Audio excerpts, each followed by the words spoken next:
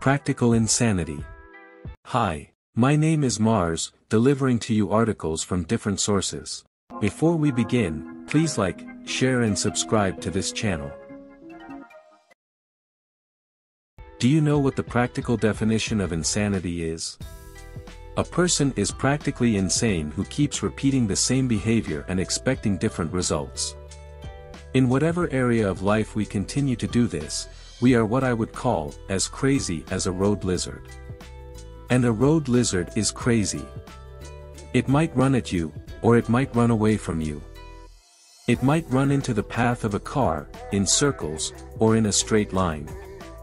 We may try to hide our particular brand of insanity, but the first step to healing it is to admit we are out of control in that area, and need help. The second step is to believe that Almighty God can heal and restore us. And the third step is to abandon our will totally to Him. Jim Dethmer has a wonderful illustration of this kind of abandon. Imagine you are on top of a building. There is a terrible fire, and you cannot escape.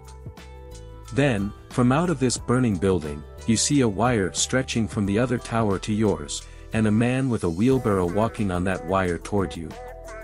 He asks you to get in the wheelbarrow, and allow him to take you to safety. What do you do? You and I are like that man in the burning building. We are trapped in our sin, and Jesus Christ has walked the wire of the cross to save us.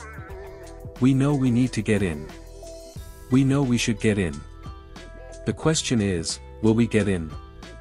We cry, along with the father of the young boy possessed, I do believe, help my unbelief. You need an escape from that area of your life in which you are road lizard crazy. Will you get in the wheelbarrow? Memory verse. Mark 9:23. And Jesus said to him, If you can. All things are possible to him who believes. From the word of promise.